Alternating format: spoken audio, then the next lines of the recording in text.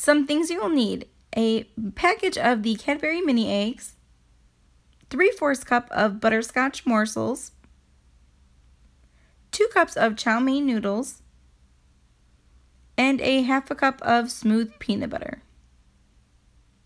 Begin by pouring the dry chow mein noodles into a large mixing bowl and set aside for just right now. And then on a low setting heat, start pouring the butterscotch morsels into a saucer pan and then add the half a cup of peanut butter. And just stir until you get a liquid consistency.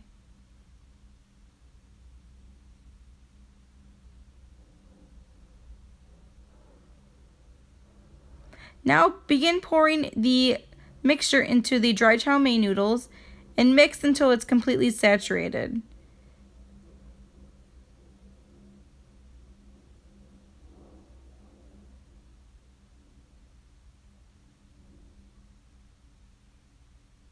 Now take a spoonful of the mixture and put it into a cupcake or muffin pan and let the mixture sit for about 5 minutes.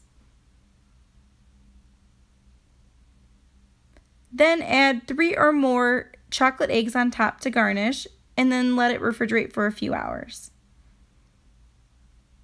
Now it's ready to eat. Enjoy. I think they're really aesthetically pleasing and I hope you enjoy and happy have a happy Easter.